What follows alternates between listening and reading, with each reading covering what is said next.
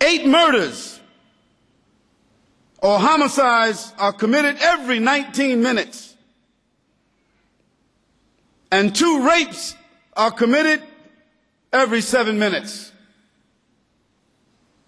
And there are three robberies every 59 seconds.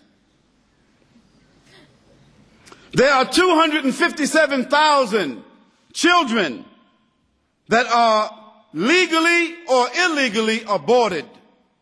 That is, 257,000 children are killed in the womb by license.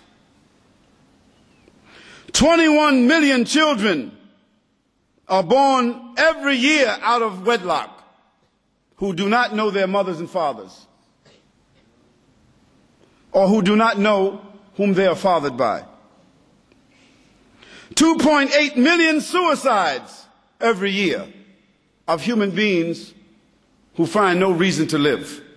With these kinds of social problems inside of their own boundaries, inside of their own governments, in their own institutions, how can they bring peace to the world? It doesn't make sense.